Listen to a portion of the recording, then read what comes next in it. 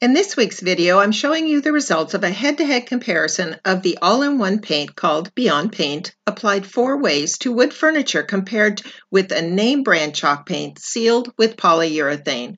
I applied the Beyond Paint with a 3 8 inch nap roller, a paintbrush, a spray gun, and a foam roller. I compared the Beyond Paint with chalk paint not only for ease of application, but most importantly, durability. Of course, if you plan to go to all the work of refinishing your kitchen cabinets, the durability of the paint you use is very important. I used the same test similar to those done by paint testing labs to compare these two products, so you will have objective, impartial results to look at. You may be surprised at the results. I know I was.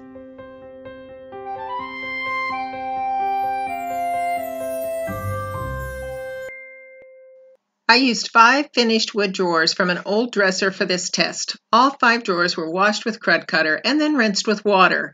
There were no visible scratches and the finish was in good shape.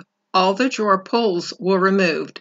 On drawer number one, I used a 3 8 inch nap roller loaded with only enough paint to evenly cover the drawer. I was careful not to apply too much paint so as to apply as little texture as possible. However, the 3 8 inch nap roller absorbs a lot of paint, which is perhaps the reason the company recommends that size nap roller be used.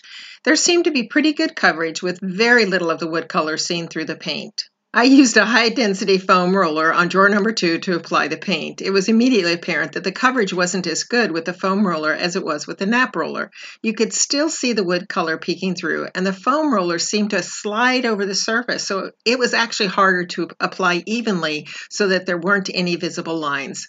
As a result, the foam roller took the longest to apply of all four application methods used for the Beyond paint. On drawer number three, I used a synthetic bristled brush to brush on the paint. It went on smoothly, but left a lot of brush strokes. You could see the wood color peeking through in between some of the brush strokes. I used an HVLP sprayer to apply the paint to drawer number four. The paint was thinned with water to the viscosity required by the manufacturer of the paint gun. After it was sprayed on, the color looked even and it had good coverage. Drawer number five was used for the chalk paint. Since Beyond Paint is an all-in-one paint with primer, paint, and sealer, I sprayed an oil-based primer on one side of drawer number five. I didn't apply primer to the second side so I could see if primer had an impact on the durability of the chalk paint. After the primer dried, I painted undiluted chalk paint on both sides of drawer 5 using a synthetic bristle brush. The chalk paint had good coverage with visible brush marks. A second coat of paint was applied to all five drawers, and then I applied two coats of polyurethane sealer to drawer number five with the chalk paint. Since Beyond Paint already had a built-in top coat, this step wasn't necessary for the four drawers with the Beyond Paint on them.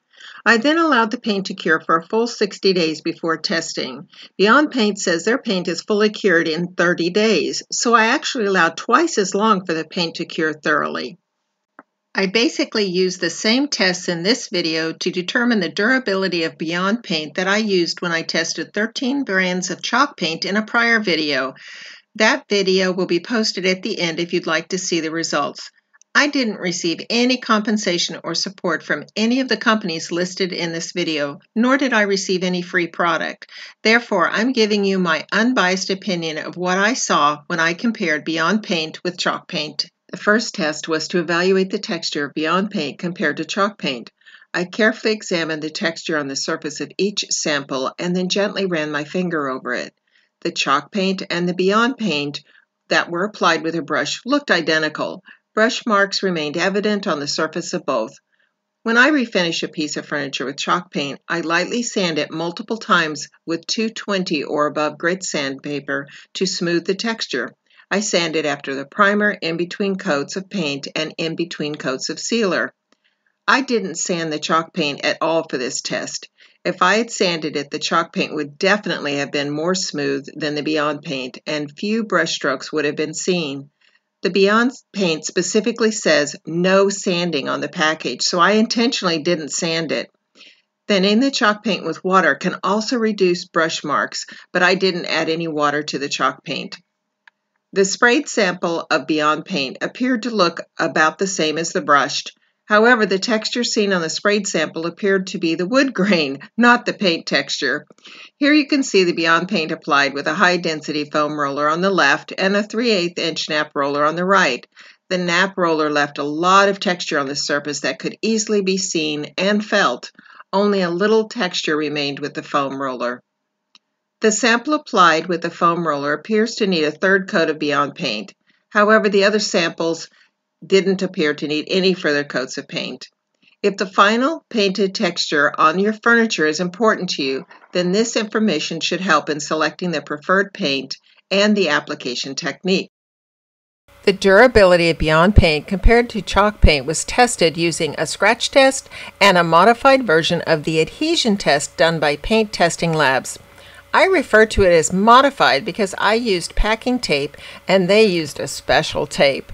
This was the same packing tape I used with the chalk paint test video, so if you watch it, I'm comparing apples to apples when it comes to testing adhesion between those 13 different chalk paints and Beyond Paint. For the scratch test, I used the same hard plastic pen cap I used in the video to test the 13 chalk paints. That video will be linked at the end so you can see how Beyond Paint compares with these chalk paints. I would like to mention that one of the 13 chalk paints was a DIY recipe chalk paint that did surprisingly well compared to the expensive commercial brands. This certainly was not a complicated test. I simply scratched the surface of each sample multiple times using the same pressure on the pen. The sample painted with the nap rollers on the left and the brushed is on the right. You'll note that the scratch test badly damaged the side brushed on, whereas the side applied with the 3 8 inch nap roller fared better. However, even on the side applied with the nap roller, there are still several areas where the pen scratched through the finish below. The spray painted side on the right failed the scratch test. As you can see, it was badly damaged by the pen when I applied the same pressure to the pen as I did with the other samples. The side painted with the foam roller did about the same as the sample painted with the nap roller. There are quite a few small areas on the foam roller side that broke through the paint, revealing the finish below. When comparing the chalk paint with the primer and without the primer, I scratched through the primer in two small areas. It didn't break the surface of the paint on the side at all with the polyurethane. You'll note that I pressed so hard on the pen I dented the wood, but the paint held up well. I was a little surprised with the results. I always assumed that the primer would make the paint more durable.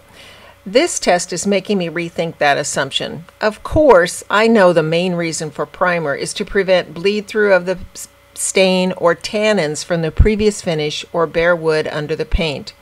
It's the intent of the sealer to protect the paint from stains, water, and damage. Overall, I think the chalk paint without the primer proved to be the winner in the scratch test, followed closely by the chalk paint with the primer. I'll be releasing a video in the upcoming weeks showing the result of these same durability tests done on about 10 brands of all-in-one paint. If you subscribe to my channel, you'll be notified when this video is posted. I think you'll be surprised to see that there is a significant difference between the brands of all-in-one paint. I've included some DIY recipes of all-in-one paint as well in my testing just to see how they compared with the commercial brands of all-in-one paint.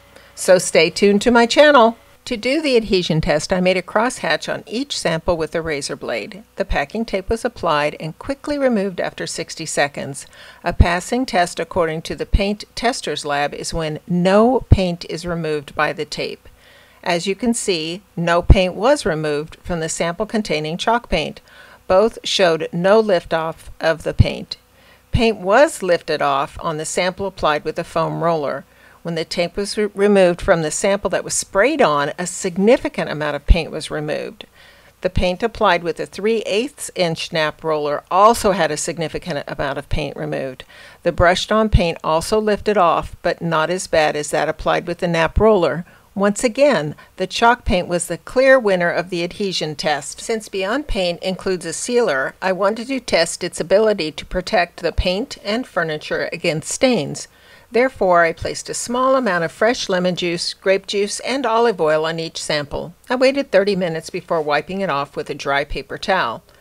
All of the finishes held up with no trace of the lemon juice or grape juice. However, each sample retained an oily residue from the olive oil. I was unsure if the oil had soaked into the finish, so I wiped it off with water, but the oil remained. Therefore, I sprayed a small amount of Krud Kutter on a white cloth and then used that to remove the oil residue. The oil residue came off showing resistance to these food products on all samples. Therefore, all of the samples passed the durability to food products test with flying colors. To my surprise, though, after removing the residue from one of the samples, I saw black paint on the cloth. The paint was apparently coming off. I've used Krud Kutter on recently refinished furniture for a long time. It, it's not uncommon for me to get marks on newly finished furniture, and I don't want to sell it like that, so I take the marks off using Krud Kutter. Provided the paint and poly sealer have had at least 24 hours to cure, I use the Krud Kutter to remove the mark, and I've never had any paint come off on the cloth. As you can see, the paint came off with every Beyond Paint sample, but no paint came off with the chalk paint sample. I would call this a win for the chalk paint sample. As I mentioned earlier, I allowed the chalk paint and the Beyond Paint samples to cure for a full 60 days before performing any of these tests. I hope you found this video helpful in evaluating the durability of chalk paint compared to Beyond Paint. I tried to be objective and I showed you the actual tests so you can draw your own conclusions. I have two more videos you may enjoy on your right. In addition, if you become a subscriber and click the notification bell, you'll be the first person notified when I post my weekly video. Thanks for watching.